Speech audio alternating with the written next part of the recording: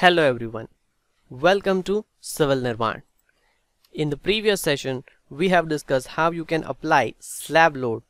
In that particular, we have discussed floor load by group option and by range option. Also, we have discussed certain scenarios that what important points you should keep in mind while applying a floor load in the range as well as in the group method. Now you can utilize both the methods. Both the methods have its certain pros and cons. It all depends on your slab beam framing arrangements. In the range option, if there is one portion of the floor with different floor loads, then other portion around it, for example a cutout in the middle or a toilet slab in the middle, the load applied for the surrounding slab has to be split into two commands so that the enclosed area, I mean the cutout or the toilet slab, will not be a part of the loop formed by the same command, right? So in the range method, you have to apply your floor load by separate ranges if such conditions occurs. Similarly, you may have limitations in the group option as well. It all depends on your slab beam framing arrangement. Alright, so in the today's session, I am going to discuss in which particular case you can utilize a group option or range option. Which method is convenient.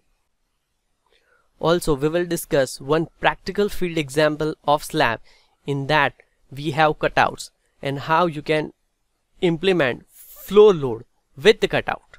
So stay tuned with us. Now, let's first discuss now let's first discuss why cutouts are provided and its necessity. So, opening in slabs are usually required for the plumbing, fire protection pipes, heat, ventilation ducts and air conditioning. Larger openings that could amount to the elimination of large area within a slab panels are sometimes required for your stairs as well as the elevator shaft as well. I have provided few sketches over here to make you understand uh, you can check out this now see it is advisable to provide beams around the opening if it is of the large size however it is upon your judgment and as far as the load transfer to the primary beam is concerned it should be 45 degrees approximately I have shown a sketch over here to make you understand and the loading will be trapezoidal and triangular for the beams under the consideration okay now if you want to get more details, you, you can check out SP34.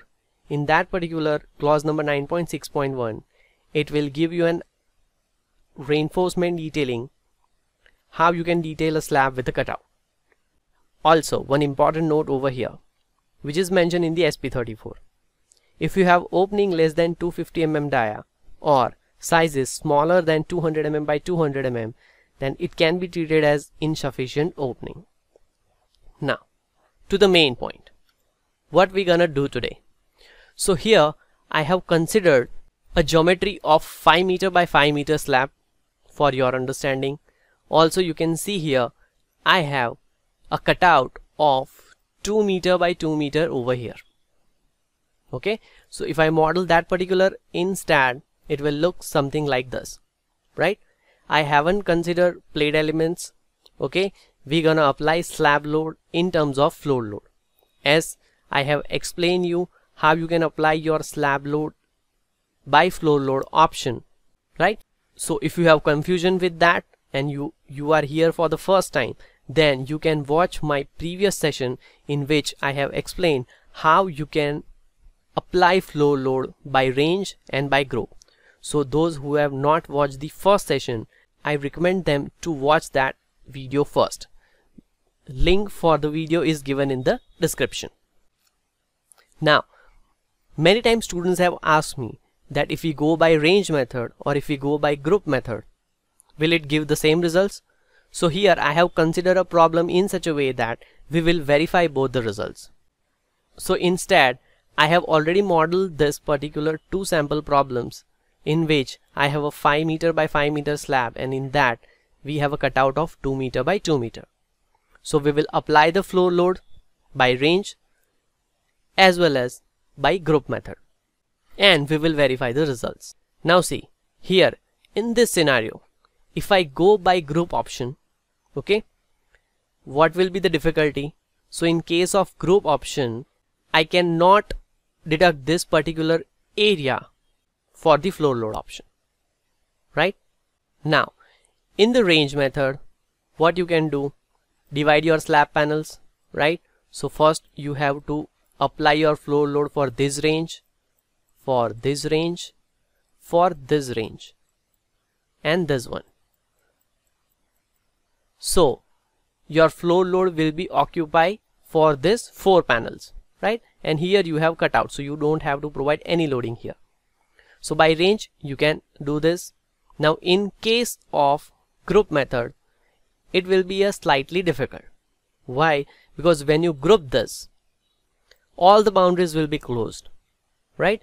So if you go by group method this portion will also consider your floor load now what you can do? So in, if you go by group method this method will not work right? So compulsory you have to follow this option of range right? Or I have one another shortcut. What you can do is see here let me just erase this you can go by group option. And in the group option you have to divide your segment into two groups. This is my first group right in which I will implement the floor load. Also I will create another group of this segment the middle portion and I will apply the floor load in the opposite direction right? So for this particular hatched area my loading will be 0 why? Because already I have considered a whole group. In that I will apply a floor load. And in the other group in that particular floor load in the opposite direction. So my loading will be null in this hatch portion. Okay? Now let's check out that in STAAD Pro so here for quick explanation what I have done let me just explain you again. I have considered one sample case as I told you. In the first case of range option see I have, I have applied the slab load here. In the first panel in the second panel third panel and the fourth panel right? So remaining portion is in the form of cutout. You can see in the plan view as well. Let me just show you. If I go by loading here see. So in the range option you can work out like this right? Now if you go by group option what you have to do is you have to simply select this press ctrl G highlight. Now see as I told you earlier in the group option you can't go by this method. As you can see here in the group option what is the issue? Every boundary is closed so it has considered your floor load for all the panels. But to neglect the loading in the middle portion of 2 by 2 meter what I have done I have created another group of cutout which is only a middle portion right and in that particular I have implemented the load in the opposite direction. So let's say 4.75 is the floor load right? Which is in the downward direction. And for the cutout region I have separately defined 4.75 in the positive direction. Got it?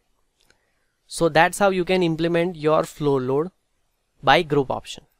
Now let's run the analysis and check whether it will give us the same results or not so I'm I'll quickly run the analysis. I'll go to post processing mode click on apply. See I have not considered the modeling part. Okay you can see it's a simple model frame you can model this. Just to show you the analysis result and want to cover all the aspects that's why I have already modeled this. Okay now let's check out the bending moment results. So if I click on MZ now let's go to results. Now to check out the results I'll click on annotate button. Here beam results. I'll click on maximum bending moment. Now you can see both the frame has same results right? So either you can go by range option or by group option. It all depends on your framing condition. So here also in the group option what point you have to take care here every boundary is closed. And that's that's why in the middle of the portion I have implemented the floor load in the opposite direction. Right? Now let's check out the deflection as well. So I'll turn on the deflection diagram. See you can check out the deflection as well. Both the segments will give me the same results. Okay let me just turn off this yeah. Right? So that's how you can implement your floor load command. Just for your exercise you can try out different groups and work out this. Also there is still one method left in the group option for the floor load. Think about for this particular geometry here that in which other option you can work out the floor load in a different manner. Okay? And comment your answer right? So here you have to think differently and apply your floor load by group right? And if you go by range you have to provide individual command for your slab panels. So I generally prefer to go by group option because it is quite easier. You just have to define your groups and you can simply apply floor load with a single click. Now it it is not always the case right? Now let me show you a one practical field example here now see, in one of our projects, we have cutouts in our RCC slab. See, it's a 7 meter by 8 meter slab and you can observe a cutout over here. Right, three cutouts we have. Now the similar frame I have already modeled just to show you in that how you can work out. See. So let me just take you to the ground floor slab view isometric view. I'll take a new view.